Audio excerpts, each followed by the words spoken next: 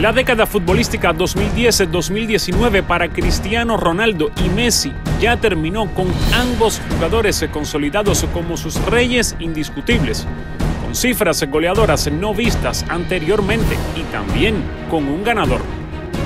Lionel Messi fue el delantero más goleador en estos 10 años con 579 tantos, 522 para el Barça y 57 con Argentina.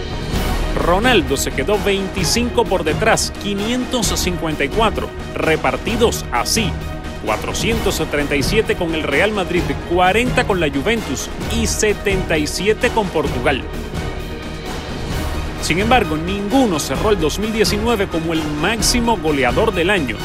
El líder esta vez fue Robert Lewandowski, autor de 54 goles en 58 partidos, apenas en la segunda vez en toda la década que se rompió el duopolio.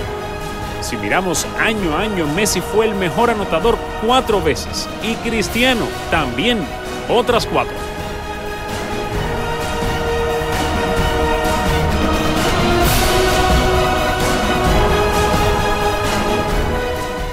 Ya que nos encontraste, no nos pierdas. Suscríbete a nuestro canal de YouTube de Telemundo Deportes.